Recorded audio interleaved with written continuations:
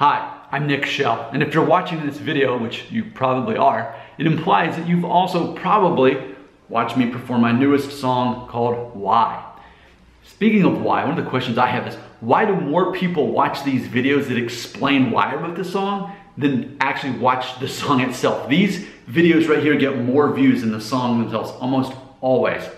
I may never know, and that's largely what the song is about. I wrote this song less than a week ago it's called Why.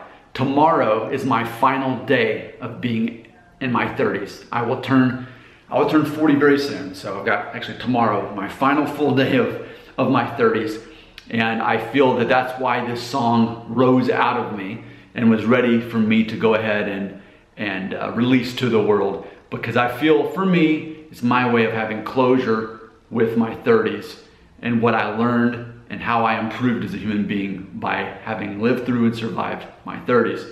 So let's get into the lyrics of this song, simply called Why. I'm sure my, really technically my shortest song ever as far as the title goes. Starting out with the lyrics, the world is such a wicked place to stay, yet we still procreate as if it were our fate. Does this make me a hypocrite each day to criticize our fallen state, and then copy and paste it? So that's pretty deep. Let me just unpack that real quick. Something I have mentioned in other songs uh, is that I struggle to understand how we were born into such a fallen world.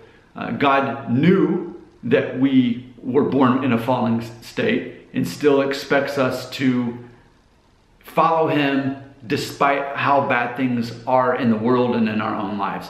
That we have to ultimately figure that out and seek God that's difficult for me to understand. But yet I had recently, it recently came to me, and that's really what inspired the song, is if I really felt that way, that this world was so bad and wicked and why should we be here, then why did I bring two more human beings into this world? And granted, I didn't have that epiphany uh, up until more recently in these last couple years. But ultimately, yeah, I have two children. So what does that what does that say about how I really feel about how dark the world is and how it seems unfair that we would be put on this earth and life would be so difficult. And even when it's all said and done, then what? Well, we have to hope that our faith, as the Bible teaches, or faith in whatever religion you choose, is real and that there is hope after this life. There's a lot of question marks then in that, and I wanted to create a song that explored that but ultimately, if I was really so worried about it, why would I bring more human lives into this world? So, moving on to uh, the chorus Is it tragic to be born in such uncertainty? What I'm not saying is uncertain times. No. I mean, if anything, throughout the history of the world, this is like the most certain as far as survival and things being fair for people to, to live. So, to live in an uncertainty, to be born on this planet, and you don't get like, okay, here's what you do now. Like, you have to figure that out, right? So, is it tragic to be born in such uncertainty? I try to imagine how God perceives humanity. I really do. Like, I get it that God loves people, but in the end, not all will serve Him. And that's really weird to me that He loves people, but yet He knows so many will not serve Him and they'll go their own way. And then their whole life was lived for what? Ultimately, to be punished in eternity. I've got questions and I'm not really going to be able to understand that with my own logic. I'm admitting that, but I do try to imagine how God perceives humanity. Is it logic that leads me to question my whole life?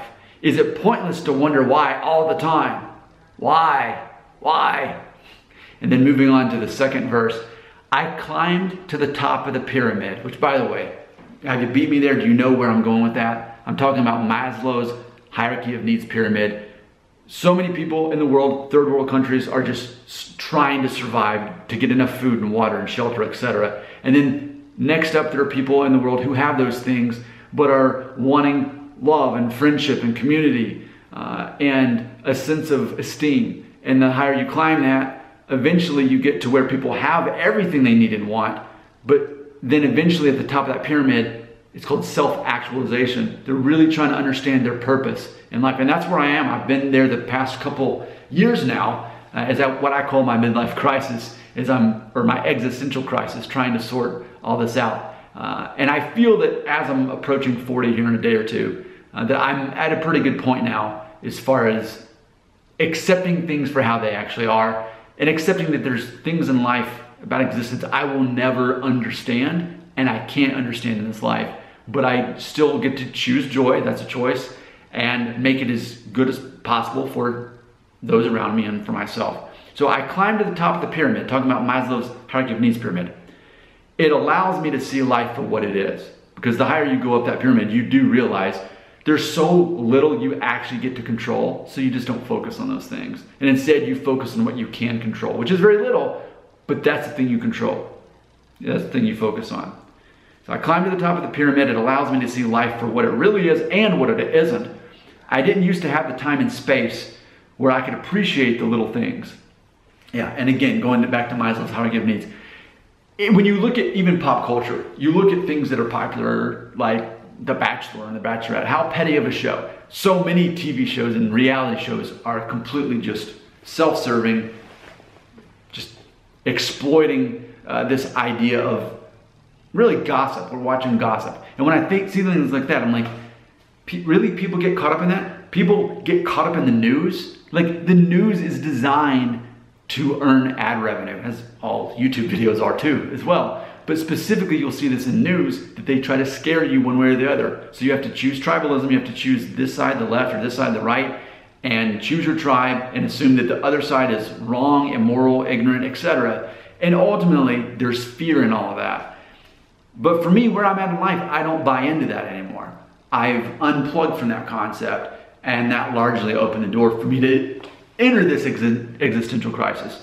So, in closing, uh, what this song ultimately is about, it's where I'm at right now as I'm saying goodbye to my 30s and realizing how little I have control over, but realizing those little things that I can control are the things I will be focusing on uh, the rest of my life. And I am in a fortunate situation because I realize there are plenty of people here in the United States, even that are in their 40s and still haven't figured this out. I mean, imagine too all of the millionaires, all the famous people who have more money than they could ever spend, and ultimately, those people are still not at peace, still not happy. I feel I'm at peace. I feel I'm I'm happy. I'm I experience uh, engagement, uh, meaning, pleasure. Those are things that measure happiness. I have those things, and I'm grateful for those things.